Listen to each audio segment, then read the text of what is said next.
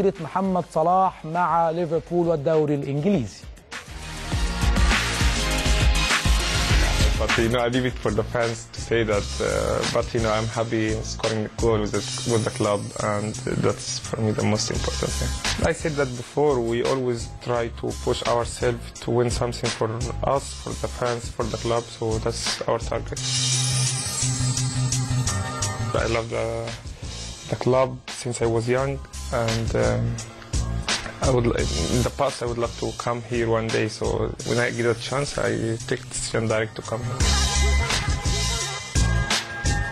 He's a very nice guy. He always try to to make everyone happy in the team and everyone give 100% from what what he had. So he's always motivate, motivated and he always try to help the player to improve themselves.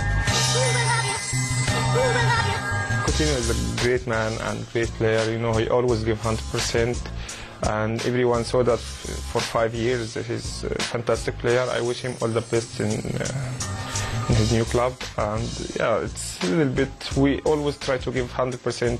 Coutinho is there, Salah is there, or no. It's always try to focus and score more goals with the team. That's the most important. Both are top players, you know and also the other uh, Ox and Hendo, everyone play you know close to my position. They had they are fantastic. They play good football, and we know each other in the training, in the in the game. So they make it easy for me. We make it easier to each other. You know, they are great. So we are happy together. Then we want to improve. We want everyone to give 100%. That's that's our football. Everyone looks arrogant, but yeah. Yeah, yeah, but come on. I know I'm good. I know I'm good. I know. Uh, you know, I was in Rome. I was comfortable there. I had two great seasons. I was happy. So I always try to take another chance.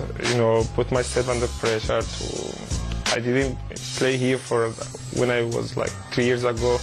Came back. Since day first, I said it to everyone. I came here to show my football. So I, I think I'm.